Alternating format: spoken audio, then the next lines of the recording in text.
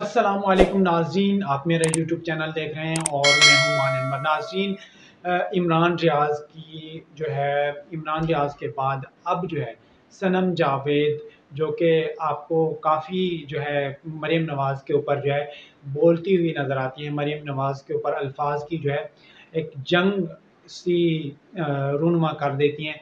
अब वो जो है, पाकिस्तान से जो है लापता हो चुकी हैं। उनको जो है गुज्त रोज़ जो है लाहौर से गिरफ़्तार किया गया था। अब जो है सनम जावेद की ये खबरें आ रही हैं कि वो भी लापता हैं, उनके भाई सनम जावेद के।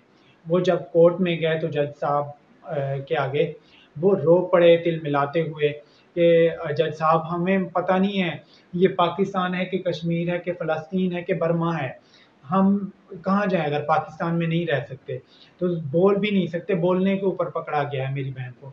और दूसरी बहन को जो है गिरफ़्तार करने के लिए छापे मारे जा रहे हैं। मेरे रिश्तेदारों के टोटल घरों पर छापे मारेंगे। सिर्फ़ और सिर्फ़ एक खातून लड़की को पकड़ने के लिए। ये कौन सा कानून है जज साहब? हम कहाँ जाएँ? वो उनके भाई जो है, आप बीदा हो गए अदालत में।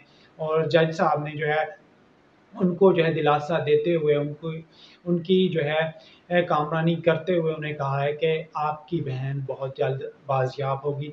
अगर दूसरी आपकी सिस्टर को जो है अरेस्ट या अगवा किया जाता है तो इन हम आपके साथ खड़े हम उन ालिम मुजरमों और जो है, गुंडों के साथ नहीं खड़े, हम आप मजलूमों के साथ खड़े हैं और ये अदालतें जो है, आप लोगों का जो है हाल अहवाल पूछने के लिए यहाँ पर हैं। हम लोग आपका, आपके साथ हमेशा रहेंगे। आप लोग परेशान ना हों।